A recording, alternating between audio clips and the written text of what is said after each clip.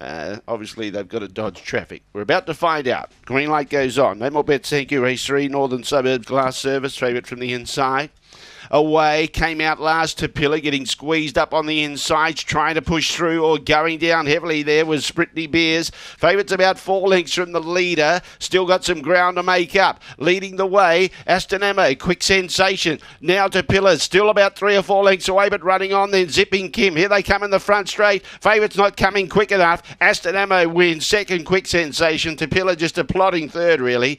Zipping Kim behind those. A gap then around about three or four lengths to the others. They were Bathurst Bogan, old mate Ben Spring Bruiser, and good to see Brittany Beers has finished the full distance. Pretty good run though, 22.94.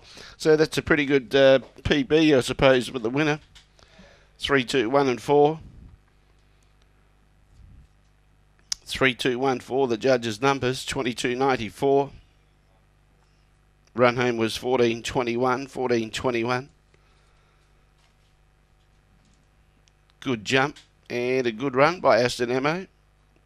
PB for her. She's had nine goes before and yet to break 23, but uh, did it today.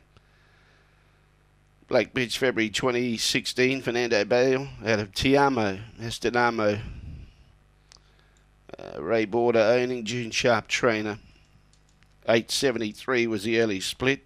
2294, 1421. Three, two, one, and four. Three, two, one, four. Quick sensation, solid performance in second placing.